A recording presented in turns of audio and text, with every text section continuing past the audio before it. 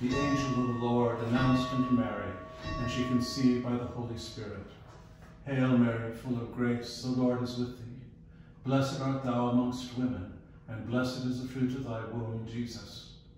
Holy Mary, Mother of God, pray for us sinners, now and at the hour of our death. Amen. Behold the handmaid of the Lord, be it unto me according to thy word. Hail Mary, full of grace, the Lord is with thee. Blessed art thou amongst women, and blessed is the fruit of thy womb, Jesus. Holy Mary, Mother of God, pray for us sinners, now and at the hour of our death. Amen.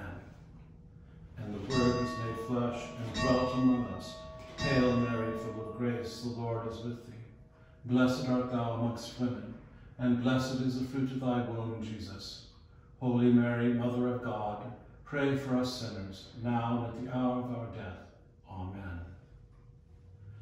Pray for us, O Holy Mother of God, that we may be made worthy of the promises of Christ. Let us pray. Pour forth, we beseech thee, O Lord, thy grace into our hearts, that we, to whom the incarnation of Christ thy Son was made known by the message of an angel to the Virgin Mary, may by his passion and cross be brought to the glory of his resurrection, through the same Christ our Lord. Amen.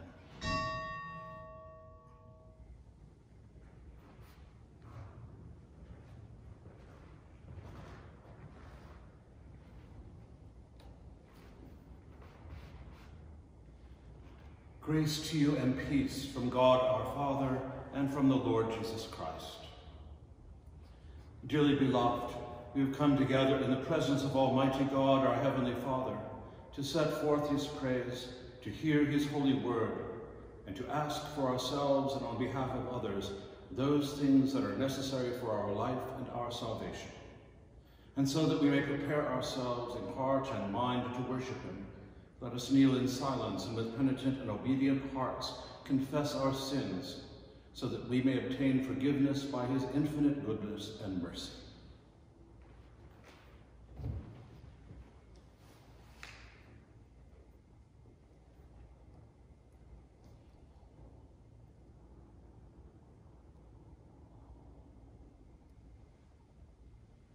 Most merciful God, we confess that we have sinned against you in thought, word, and deed, by what we have done and by what we have left undone.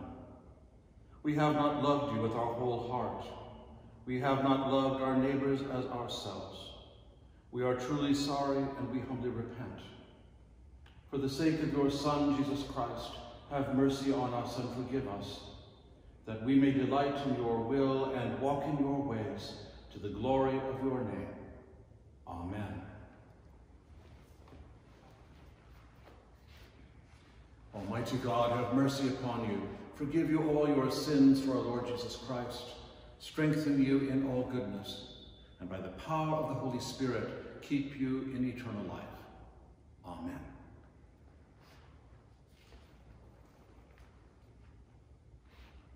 O Lord, open our lips, and our mouth shall proclaim your praise. Glory to the Father, and to the Son, and to the Holy Spirit, as it was in the beginning, is now, and will be forever. Amen. Alleluia.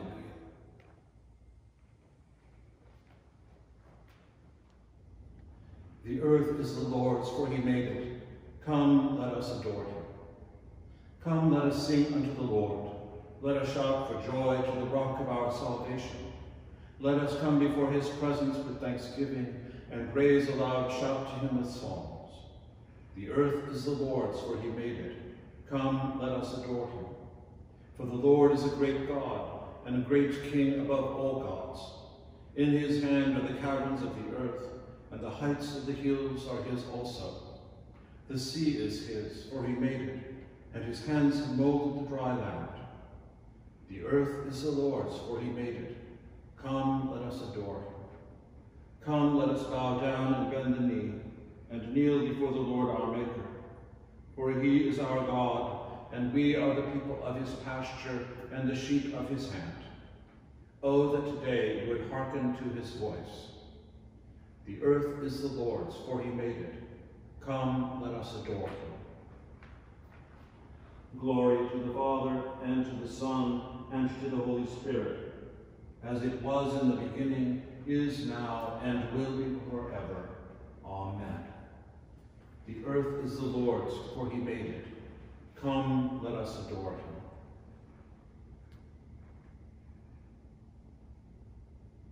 Give thanks to the Lord and call upon his name.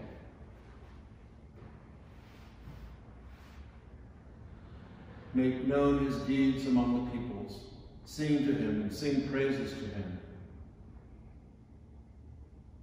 And speak of all his marvelous works. Glory in his holy name. Let the hearts of those who seek the Lord rejoice. Search for the Lord in his strength. Continually seek his face. Remember the marvels he has done, his wonders and the judgments of his mouth. O offspring of Jacob, his servant. O children of Jacob, his chosen. Then he called for a famine in the land and destroyed the supply of bread.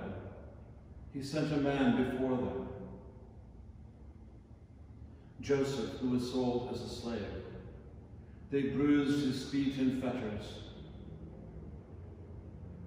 His neck they put in an iron collar until his prediction came to pass. The word of the Lord tested him. The king sent and released him. The ruler of the people set him free. He set him as a master over his household, as a ruler over all his possessions, to instruct his creatures according to his will, and to teach his elders wisdom. Alleluia.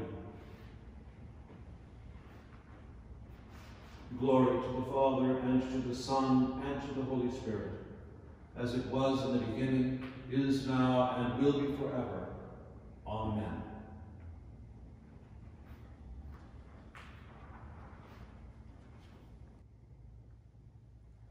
A reading from the first book of Kings. At Horeb, the mount of God, Elijah came to a cave and spent the night there. Then the word of the Lord came to him, saying, what are you doing here, Elijah? He answered, I have been very zealous for the Lord, the God of hosts, for the Israelites have forsaken your covenant, thrown down your altars, and killed your prophets with the sword. I alone am left, and they are seeking my life to take it away. He said, Go out and stand on the mountain before the Lord, for the Lord is about to pass by. Now there was a great wind, so strong that it was splitting mountains and breaking rocks in pieces before the Lord. But the Lord was not in the wind. And after the wind, an earthquake, but the Lord was not in the earthquake. And after the earthquake, a fire, but the Lord was not in the fire. And after the fire, a sound of sheer silence. When Elijah heard it, he wrapped his face in his mantle and went out and stood at the entrance of the cave. Then there came a voice to him that said, What are you doing here, Elijah? He answered, I have been very zealous for the Lord, the God of hosts. For the Israelites have forsaken your covenant, thrown down your altars, and killed your prophets with the sword. I alone am left, and they are seeking my life to take it away. Then the Lord said to him, Go, return your way to the wilderness of Damascus. When you arrive, you shall anoint Hazael as king over Aram. Also you shall anoint Jehu of Nimshi as king over Israel. And you shall anoint Elisha, son of Shaphat of Abel Meholah, as prophet in your place. Whoever escapes from the sword of Hazael Jehu will kill. And whoever escapes from the sword of Jehu, Elisha shall kill.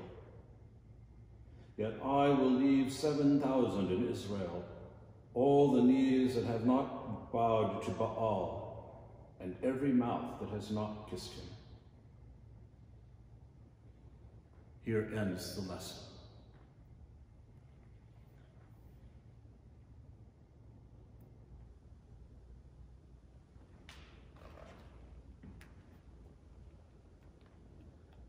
You are God, we praise you. You are the Lord, we acclaim you. You are the eternal Father, all creation worships you. To you all angels, all the powers of heaven, cherubim and seraphim sing in endless praise. Holy, holy, holy Lord, God of power and might. Heaven and earth are full of your glory. The glorious company of apostles praise you. The noble fellowship of prophets praise you. The white-robed army of martyrs praise you. Throughout the world, the Holy Church acclaims you, Father of majesty unbounded, your true and only Son, worthy of all worship, and the Holy Spirit, advocate and God. You, Christ, are the King of glory, the eternal Son of the Father. When you became man to set us free, you did not shun the Virgin's womb. You overcame the sting of death and opened the kingdom of heaven to all believers. You are seated at God's right hand in glory. We believe that you will come and be our judge. Come then, Lord, and help your people, bought with the price of your own blood, and bring us with your saints to glory everlasting.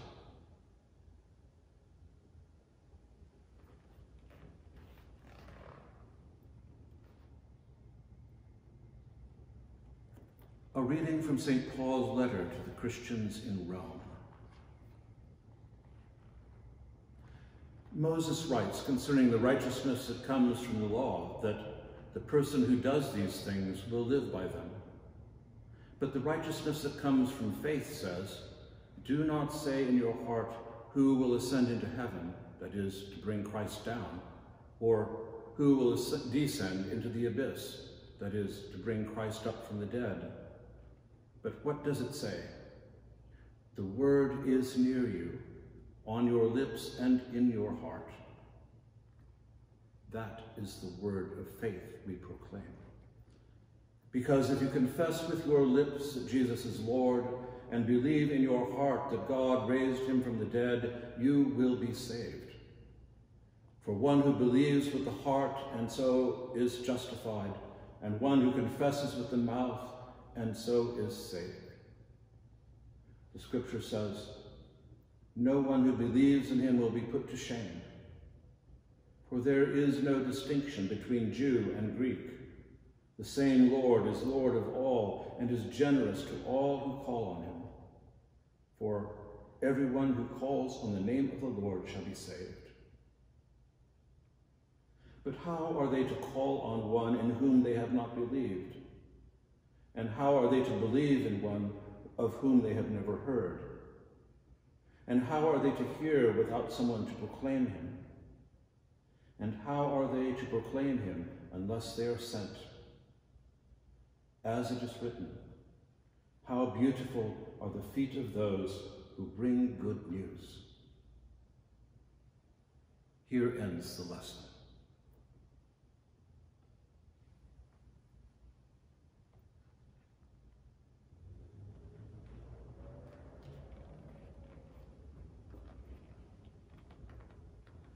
Blessed be the Lord, the God of Israel. He has come to his people and set them free. He has raised up for us a mighty Savior, born of the house of his servant David. Through his holy prophets he promised of old that he would save us from our enemies, from the hands of all who hate us. He promised to show mercy to our fathers and to remember his holy covenant. This was the oath he swore to our father Abraham, to set us free from the hands of our enemies, free to worship him without fear, holy and righteous in his sight all the days of our life. You, my child, shall be called the prophet of the Most High, for you will go before the Lord to prepare his way, to give his people knowledge of salvation by the forgiveness of their sins. In the tender compassion of our God, the dawn from on high shall break upon us, to shine on those who dwell in darkness and the shadow of death, and to guide our feet into the way of peace. Glory to the Father, and to the Son, and to the Holy Spirit, as it was in the beginning, is now, and will be forever. Amen.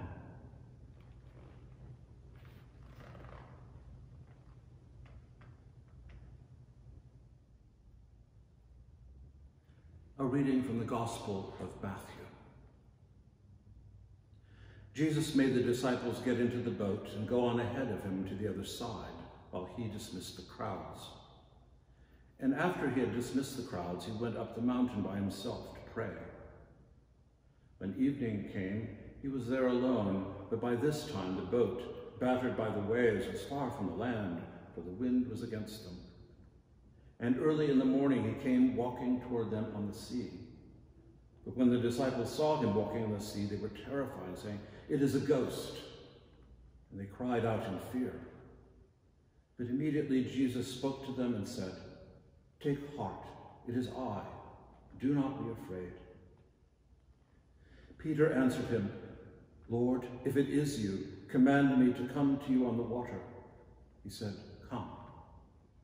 So Peter got out of the boat, started walking on the water, and came toward Jesus.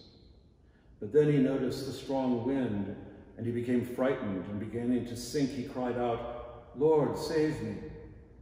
Jesus immediately reached out his hand and caught him, saying to him, You of little faith, why did you doubt?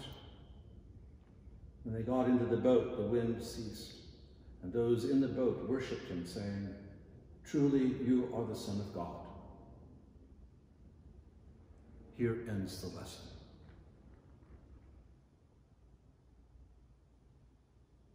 In the name of the Father, and of the Son, and of the Holy Spirit.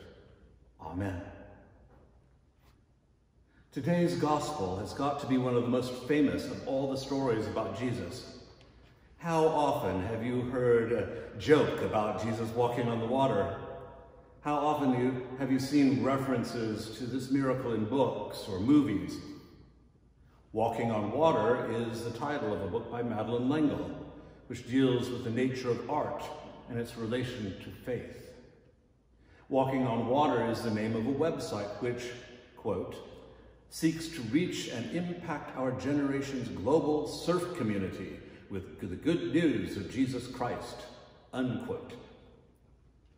An illusionist named Dynamo is supposed to have walked across the Thames on foot without a bridge. St. Francis de Paola is said to have performed this miracle when a boatman refused him passage.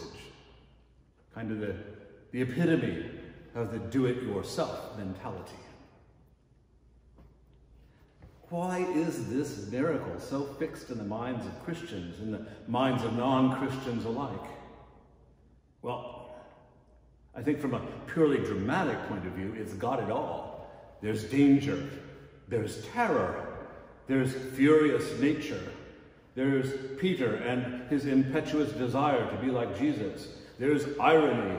There's salvation. There's dominion over the natural world. There's a declaration of faith. You are the Son of God. And there's Jesus. From beginning to end, there's Jesus in his role of rabbi, in his role as a person of prayer, in his role of miracle worker, in his role as one who comes to us in unexpected ways, in his role as one of mistaken identity. It's a ghost. In his role as the one who calls us to do things we've never done before, alone. In his role as the focus of our faith, in his role as Savior, in his role as one who understands our fears and frailties and doubts, but never gives up on us. In his role as Lord of creation, in his role as the Son of God. This story has so many levels, so much drama, such visceral impact on us humans living in a world where chaos can erupt at any time or place. It speaks deeply to our human condition and our desire to be able to traverse the chaoses of life relatively unscathed. Matthew says nothing about Jesus staying dry as he walked across the stormy chaos. Most of all, it speaks to our fears and our doubts and our hopes too. Always our hopes. And once again, I wish the Bible had emoticons. It's easy to think that Jesus is scolding Peter when he says, You have little faith, why do you doubt? But there's another way of hearing those words. You can hear Jesus saying these words with sort of a bemused and indulgent chuckle. Oh, you of little faith, why did you doubt? But there's also an amazing interaction. Peter asked Jesus, Call me to come to you on the water. And Jesus hears Peter's desire, his wonder, his hope. And Jesus answers Peter's desire and calls him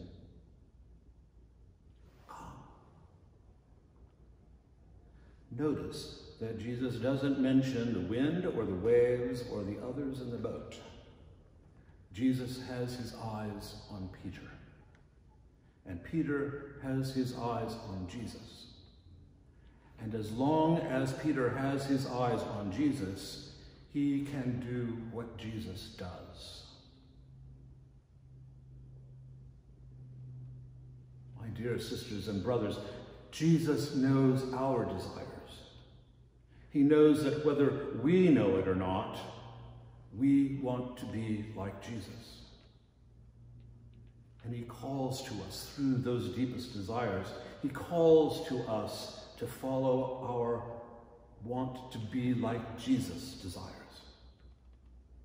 He calls us to attempt things we would never believe possible. And when we falter and think, this isn't possible, we begin to be overwhelmed by the impossibility of it all when we, we can be sure that the hand of the Savior is near, able to save us from the impossibility of it all and to get us back to where we can calm down and regroup with our fellow disciples. And while we're regrouping, God, Take two. And while we are regrouping, maybe we'll ponder the question. I wonder what would, have happened if I'd been able to tear my attention away from the wind and the waves and move my entire focus back to Jesus. And that's what discipleship is all about growing stronger and stronger in our ability to refocus our attention back to Jesus. And then, soaking wet and coughing up water, find ourselves once again doing the impossible because we are responding to his call.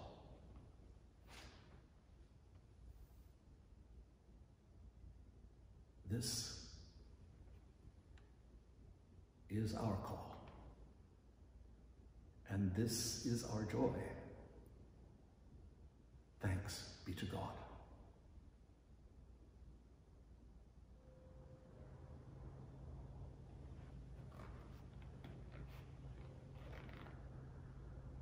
I believe in God the Father Almighty, creator of heaven and earth.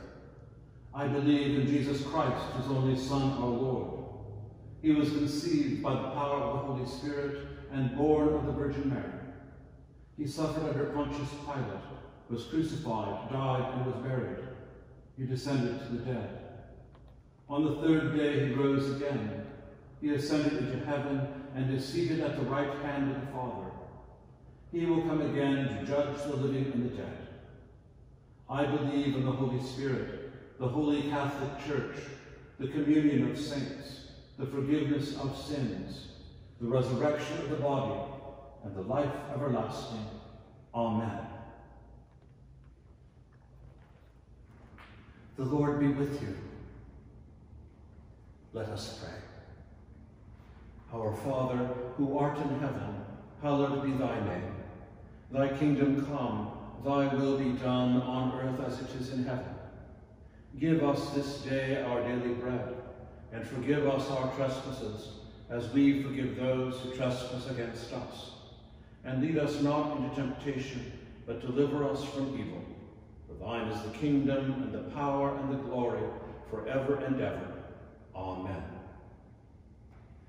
Save your people, Lord, and bless your inheritance.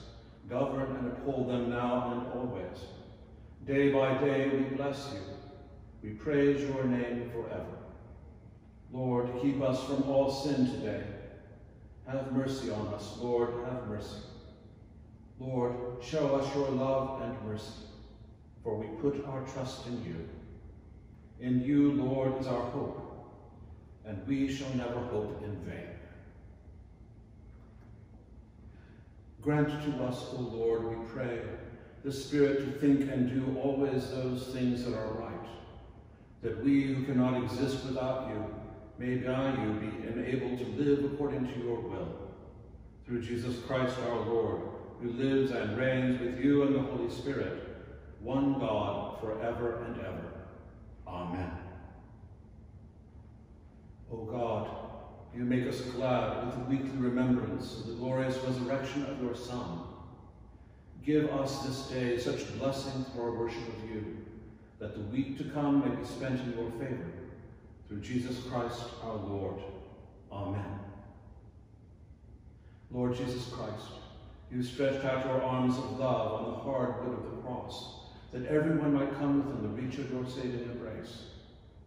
So clothe us in your spirit, that we, reaching forth our hands in love, may bring those who do not know you to the knowledge and love of you for the honor of your name. Amen.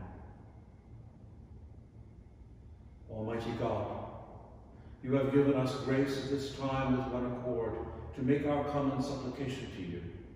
And you have promised your well-beloved Son that when two or three are gathered together in his name, you will be in the midst of them. Fulfill now, O Lord, our desires and petitions as may be best for us, granting us in this world knowledge of your truth, and in the age to come, life everlasting. Amen.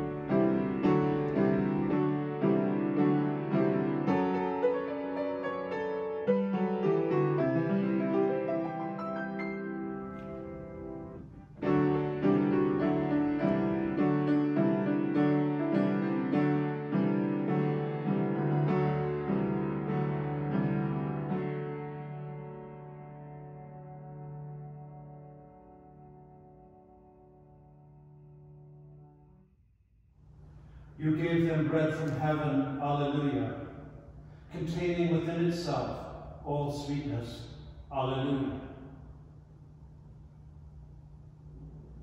Blessed be God.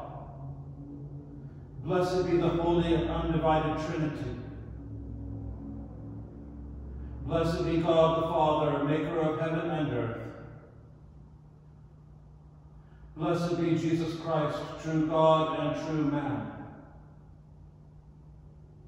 Blessed be Jesus Christ in his death and resurrection.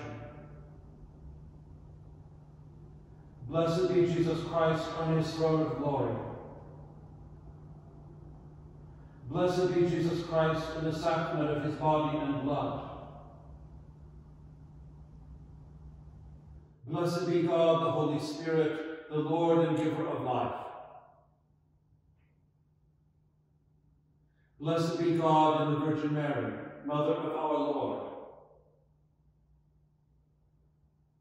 Blessed be God in Joseph, guardian of the incarnate Word. Blessed be God in his angels and in his saints. Blessed be God.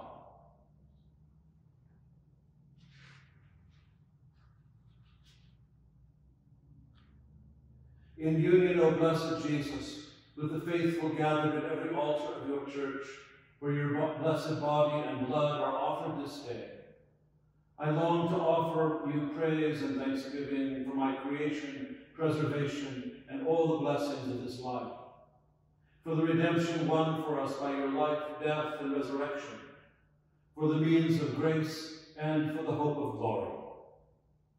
I believe that you are truly present in the Holy Sacrament, and since I cannot at this time receive communion, I pray you to come into my heart. I unite myself with you and embrace you with all my heart, my soul, and my mind. Let nothing separate me from you. Let me serve you in this life until, by your grace, I come to your glorious kingdom and unending peace. Amen.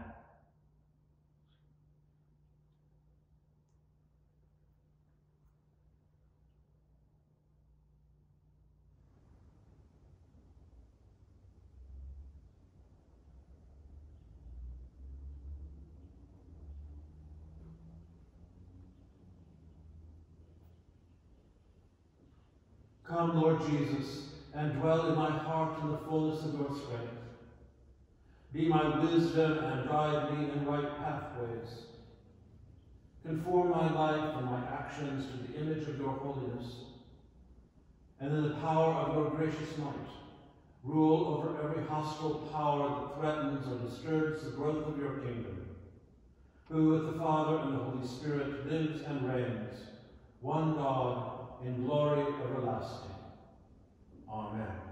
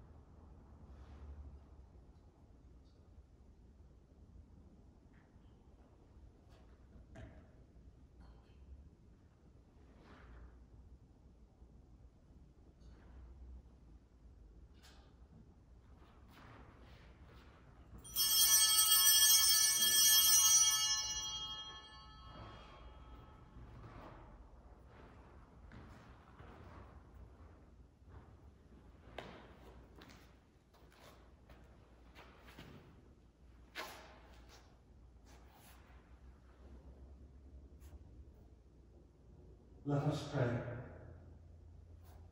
O God, our Father, who in the wonderful sacrament of the altar has left us a living memorial of the passion and resurrection of your Son, our Lord Jesus Christ.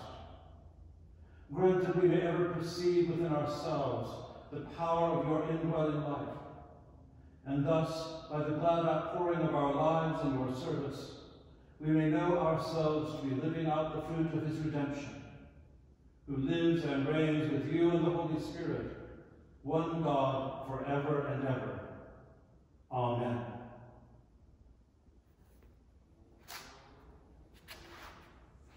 Let us bless the Lord. Thanks be to God. May the souls of all the faithful departed, through the mercy of God, rest in peace. Amen. And the grace of our Lord Jesus Christ, and the love of God, and the fellowship of the Holy Spirit be with us all evermore. Amen.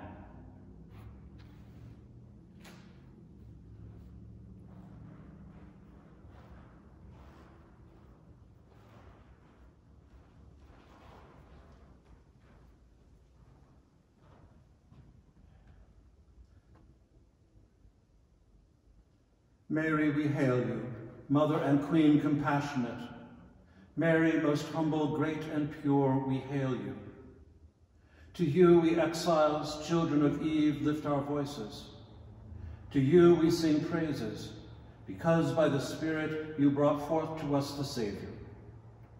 Turn now, therefore, O our intercessor, your eyes of pity and loving kindness upon us sinners. Then at the last, when our earthly journey has been ended, show us Jesus, the blessed fruit of your womb.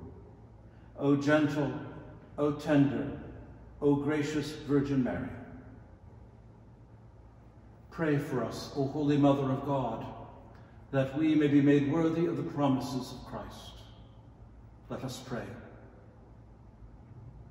Almighty and everlasting God, who by the overshadowing of the Holy Spirit prepared the body and soul of the glorious Virgin Mary to become a habitation for your Son.